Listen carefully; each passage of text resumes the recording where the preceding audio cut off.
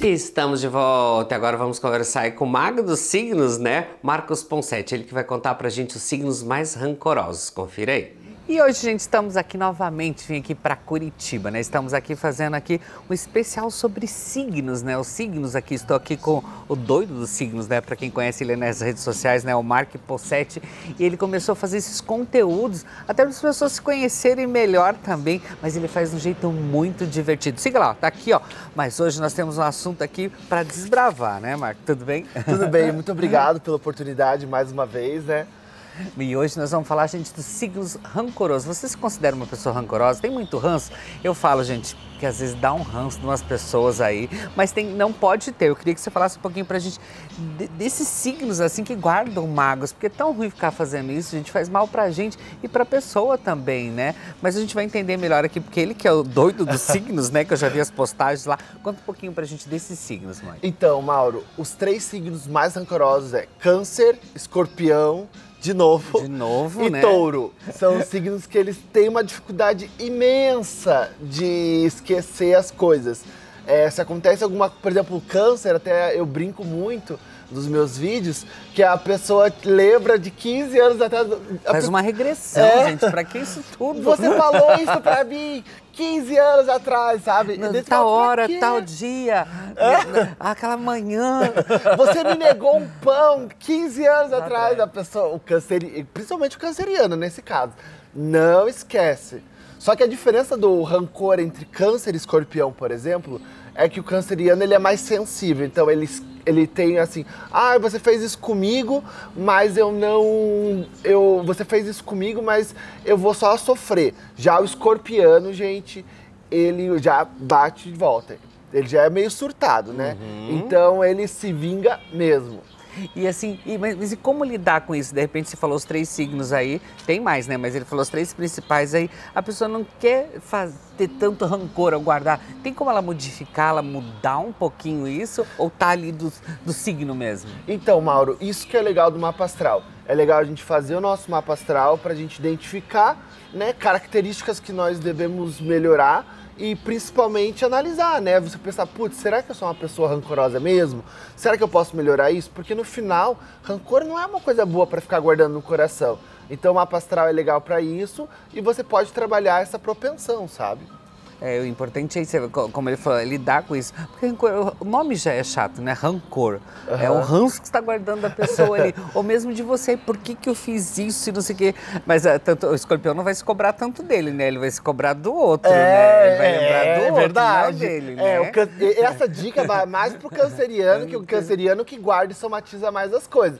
O escorpiano, ele já bate de volta, não tá nem aí. Tá vendo? Ó, ó, já é uma dica pra você escapar desse signo aí. Agora vamos é. falar um pouquinho do touro. Você falou que o touro também entra nesses rancorosos é, aí? Então, o taurino também é rancoroso e ele é mais no perfil do, do canceriano. Ele guarda as coisas e ele não, ele não se vinga, mas ele fica guardando ali. Pra hora certa. Ruminando, é, que não é uma coisa muito boa. E o taurino também tem uma certa dificuldade de projetar isso. Então, ele acaba guardando para si.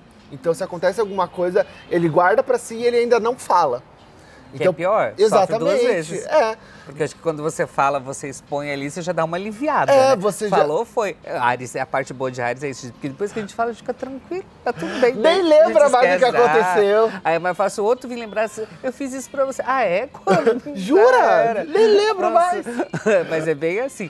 Mas é importante, gente, é você saber lidar com isso. Porque a gente fala assim, o doido dos signos, porque é um jeito divertido dele falar sobre cada signo, como você lidar com isso, quando você conhecer outros signos também através do mapa astral, né? E o Mark tá Ver qual que você combina mais, né? é... né? Porque tem uma questão de combinação ali, gente. Tem signos que você tem mais facilidade para se dar melhor, sabia, Mauro? Olha aí que interessante, esse também vai ser um dos assuntos que a gente vai marcar aqui para falar do que combina com quem aí. Mas vocês em casa também podem interagir com a gente, mandando sugestões aqui no nosso Insta do Vermais, arroba ou do Mike mesmo, mandar para ele, ah, eu quero que você fale sobre isso lá no programa. A gente vai vir novamente aqui, ele vai falar, vai expor também, porque é legal você se divertir, brincar com isso também, né? E eu respondo todo faz. mundo, Mauro, juro por Deus, eu faço questão de responder todas as pessoas. Seja uma perguntinha, assim, que às vezes as pessoas têm dúvida né, em relação ao signo. ali também. É, às vezes se o, se o teu signo combina com o da pessoa que você gosta, se tem alguma dificuldade, e aí eu tento responder o máximo que eu consigo. A primeira resposta eu sempre respondo, os outros eu tento responder o máximo possível. É isso aí, vai interagindo lá então. E hoje você já descobriu três signos rancorosos. Vamos cuidar com eles ou ajudar eles a não ser mais rancorosos, para todos serem felizes. Obrigado pelas dicas de hoje. Muito obrigado, Gratidão. viu, Mauro? Até mais. E ó, agora eu volto aí pro estúdio. Valeu, Marcos. Muito obrigado aí pelas dicas, né? Você pode ter mais informações no Insta dele também, porque quer saber aí do seu signo. E agora vamos dar um pulo até Foz do Iguaçu, né? Conferir aí o novo centro de falcoarismo. Eu estive por lá e trago para vocês. Confira aí. E hoje nossa equipe, a gente está aqui em Foz do Iguaçu, né? Eu vim aqui, que é uma das novas atrações. Nova atração não, né? Que o Centro da Falcaria já tem um bom tempo, mas eles estão de casa nova. Eu vim mostrar a casa nova para vocês aí, porque agora já tem mini fazenda também, tem outras apresentações, mas quem vai explicar melhor para a gente, que é o nosso anfitrião aqui hoje, é o Leandro, ele vai contar para a gente dessa estrutura maravilhosa que é de lazer. É um passeio para a família mesmo, vir curtir, passar uma tarde ou uma manhã aqui nesse espaço, né, Leandro? Queria que você contasse para a gente dessas novidades que vocês estão apresentando aqui para o Brasil todo, né, para essa região maravilhosa da Tríplice Fronteira. Tudo bem? Tudo bem, Mauro. Olá, pessoal, pessoal aí de casa, né? Quero agradecer aí a oportunidade, né? O Mauro é um grande profissional, um amigo nosso que está sempre nos acompanhando desde o início centro de falcoaria.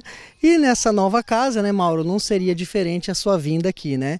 Então, muito obrigado pela sua vinda, pelo seu profissionalismo. A gente está aqui agora de casa nova, né? Essa é uma parceria do Centro de Falcoaria com o Grupo Dreams, né? Que é o Museu de Cera. A gente é, fez uma fusão, né?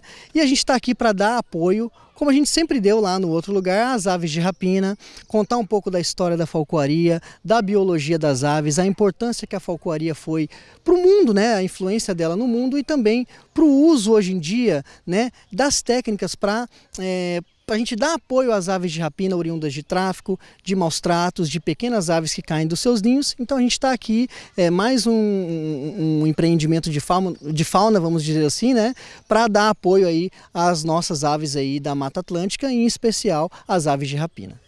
É, e você também, Leandro, morou muitos anos na Itália, também foi daí que você trouxe esse trabalho. Na apresentação aqui, explicado todo o material que é usado na falcoaria, quando começou, por que que existe e esse cuidado especial que eles têm aqui na cidade de Foz do Iguaçu também com esses animais que são de resgate, de maus tratos, como a gente falou, às vezes as pessoas acham que eles são de estimação, aí pegam, não sabem cuidar, aí abandonam e eles não sabem voltar mais para a natureza. E aqui eles acabam treinando, mostrando, ensinando, tem muitas crianças que estão aqui hoje, inclusive tem tem várias atrações para as crianças nessa parte nova aqui também, que é para eles conhecerem e saber a importância de uma ave de rapina, de uma coruja também, que tem as corujas aqui também, né? É, então, é, a gente está aqui para desmistificar certos conceitos, né? A gente está aqui para apoiar as aves de rapina, como você bem disse, para dar a esses animais uma qualidade de vida um pouco melhor em ambiente controlado. Porque acontece, Mauro, que muitas das vezes existem aves que chegam aqui para a gente que não têm condições né, de voltar para a natureza. Então a gente faz aí uma reabilitação interna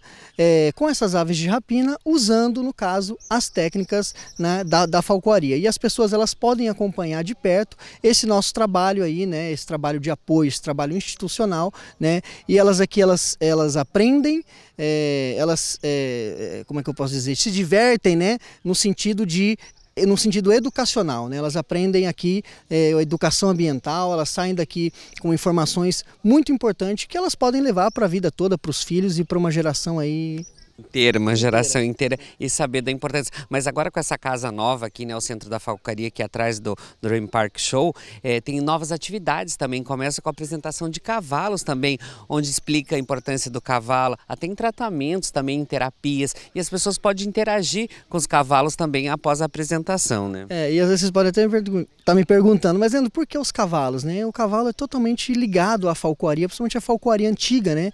A nossa falcoaria é muito ligada a Federico II, que foi um imperador do, do, Império Romano, do Sacro Império Romano Germânico, e ele tinha os seus cavalos, né? É, levava os seus falcões nos cavalos, e a gente explica um pouco disso, dessa cultura da cavalaria com a falcoaria para as pessoas e a importância que é o cavalo, que foi o cavalo, né, na sociedade. Então as pessoas têm uma ideia de cavalo, carroça, né, servidão, e não é isso, né? A gente está aqui para mostrar parcerias né, é, entre, entre o homem aí e esses animais maravilhosos. Não, e, é muito interessante é, essa, essa interação da, do pessoal junto com, a, com, os cavalos ali também, junto com a falcoaria. Depois no final tem uma apresentação também, os falcões indo de um cavalo para outro. Tem as falcoeiras também, né? A importância da mulher participando disso aí também. E aqui eles estão criando também tipo mini fazenda também, onde as crianças podem encontrar mini porcos, tem as vacas, tem os, as ovelhas. É, é um lugar para descansar mesmo, com parques. Pode vir, pode vir fazer piquenique aqui também? Pode, fazer, pode pode vir fazer piquenique, né? É, aproveitar um pouco da nossa fazendinha. Muita gente que às vezes mora em grandes centros, turistas, né? Que moram em São Paulo, no Rio, né? Às vezes nunca viu uma vaca na, na vida, mas é verdade. A gente brinca, mas é verdade, né? Então eles podem ter aqui essa interação, ver as vaquinhas, os porquinhos, as ovelhas, né? A gente vai colocar os coelhinhos ali ainda, né? Para as pessoas verem os coelhinhos também. Então a gente tem também essa interação com esses animais domésticos, né? Vamos dizer. Não, assim. Tem muitos aí que acham que o leite já vem na caixinha pronto, não é da vaca, gente. Isso é legal. É esse contato contato, essa interação para as pessoas conhecerem. Mas como que está funcionando aqui para as pessoas visitarem, que estão assistindo a gente? Tem um horário especial para essas visitas? Como que funciona? É, a gente está aberto agora de segunda a segunda, né? É, a partir das 9 horas a gente abre é, o parque. Aí às 9, às 9 e meia tem a apresentação dos cavalos. Às 10h30, a apresentação, né, no caso a interação, o voo livre das aves de rapina. Mas nesse período as pessoas podem ficar aqui, visitar a fazendinha, tomar um suquinho geladinho, né, tomar um gelado, tem gente que gosta, né? Então elas podem ficar interagindo, ficar ali embaixo da árvore na sombrinha, vendo o laguinho ali que é bem bonito. Então é um espaço bem gostoso, né, onde as pessoas vão aproveitar bastante. E à tarde também tem apresentações ou só na parte da manhã? Não, à tarde também, né? Depois a gente inicia às 3 horas com o Aratier e às 4 horas há o voo livre das aves de rapina, né? Sempre esses mesmos horários e aí a gente fecha o parque às 6 da tarde. Bom, gente, eu vou deixar o Insta aqui para vocês também. Vocês podem entrar em contato através do Instagram, ver os horários certinhos e vir conhecer esse novo atrativo de turismo aqui da Tríplice Fronteira em Foz do Iguaçu. Espero que vocês tenham gostado. Leandro, obrigado por receber nossa equipe aqui. Adorei. Não é a primeira vez que eu vejo esse lindo trabalho que eles fazem também. Já tive o prazer de receber um gavião, a coruja no braço. Hoje eu vou deixá-las descansarem, mas vale super a pena. Você pode ter esse prazer também de ver esse trabalho. Gratidão. Gratidão a vocês, muito obrigado, Mauro e toda a sua equipe, tá bom? Agradeço. É isso aí. Com essas dicas, com esse passeio maravilhoso aqui em Foz do Iguaçu, eu voltei para o estúdio. Valeu, Leandro. Muito obrigado aí pelas dicas, né? E apresentar pra gente o novo centro de falcoarismo aí de Foz do Iguaçu. E você pode interagir com a gente no mauropsine, arroba mauropsine.com.br. Siga a gente no nosso canal lá no YouTube também, né? Mauropsine no Instagram, arroba mauropsine. Bom, bom final de semana aí para vocês, né? E lembrando que segunda-feira a gente tem o nosso encontro no Ver Mais, coladinho do Balanço Geral e sábado que vem aqui no Ligado em Você. Tchau, tchau.